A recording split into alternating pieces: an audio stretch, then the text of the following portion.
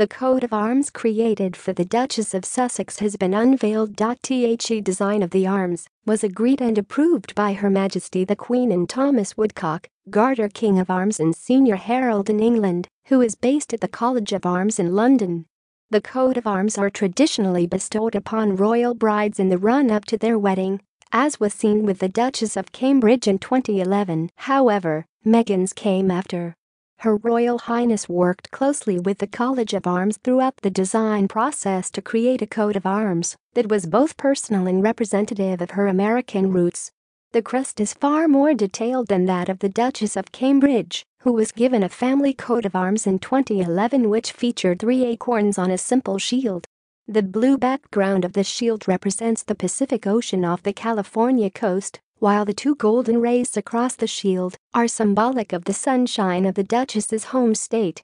The three quills represent communication and the power of words. The announcement of the coat of arms revealed by Kensington Palace also bore what is understood to be Meghan's new cipher, or letterhead, featuring the letter M with a crown on top.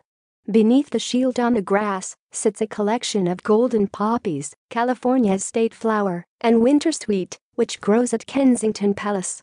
It is customary for supporters of the Shield to be assigned to members of the royal family and for wives of members of the royal family to have one of their husband's supporters and one relating to themselves. The supporter relating to the Duchess of Sussex is a songbird with wings elevated as if flying and an open beak which with the quill represents the power of communication. A coronet has also been assigned to the Duchess of Sussex. It is the coronet laid down by a royal warrant of 1917 for the sons and daughters of the heir apparent. It is composed of two crosses pattée, four fleurs de lis and two strawberry leaves. The arms of a married woman are shown with those of her husband, and the technical term is that they are impaled meaning placed side by side in the same shield. Thomas Woodcock, Garter King of Arms said the Duchess of Sussex took a great interest in the design. Good heraldic design is nearly always simple, and the arms of the Duchess of Sussex stand well beside the historic beauty of the quartered British royal arms. Heraldry as a means of identification has flourished in Europe for almost 900 years and is associated with both individual people and great corporate bodies such as cities, universities and for instance the livery companies in the City of London. The College of Arms, a branch of the royal household, is the official body in the UK that deals with coats of arms and their team of experts funded by the fees they charge and not taxpayers' money design and research heraldic or genealogical issues. There is still speculation as to whether Meghan's father Thomas Markle will receive a coat of arms as both Kate Middleton and Sophie Rhys-Jones' fathers were when they were married. The reason for the delay may be that Mr. Markle, a retired Hollywood lighting director who lives in Mexico, is a U.S. citizen, so he needs to prove that he has an ancestor who is a subject of the crown. This should not be too difficult, as his forebears include Mary Smith, a maid who was recorded in 1856 as working at Windsor Castle, where Meghan will be married in May. Meghan's coat of arms suggests an air of independence in comparison to the Duchess of Cambridge's in 2011. Before her wedding to Prince William, Kate's family was awarded the crest rather than the royal bride alone. Although Kate was entitled to apply for a heraldic design in her own right, it was her father, Michael, who actually entered the petition. This gives his entire family, including his other children, Pippa and James, as well as wife Carol, the right to use the emblem. The design is simple, with three leafy acorns representing each of the couple's three children, an idea suggested by Kate herself.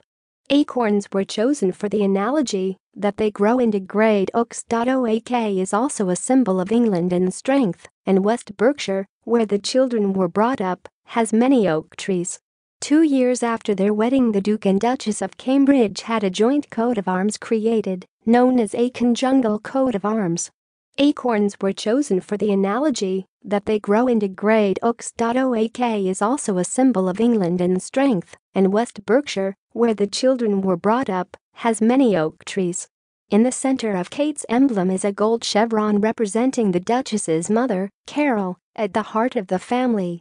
Her family name was Goldsmith. The two thin white chevrons on either side indicate, remarkably, the family's love of skiing in mountains, while the background colors of red and blue were chosen as they are the principal colors of the flag of the UK and match William's own shield. William's design is a version of the royal coat of arms which was granted to him by the Queen on his 18th birthday. It shows the various royal emblems of the United Kingdom, the three lions of England, the lion of Scotland and the harp of Ireland. It is surrounded by a blue garter bearing the motto Honi soit qui mal y pense, shame to those who think evil of it, which symbolizes the order of the garter, of which he is a knight companion. Both shields are supported by the Duke of Cambridge's supporters, a royal lion and unicorn, each wearing a three-pointed collar, known as a label. The label has a red scallop shell derived from the Spencer coat of arms, which has been used by the ancestors of Princess Diana for centuries.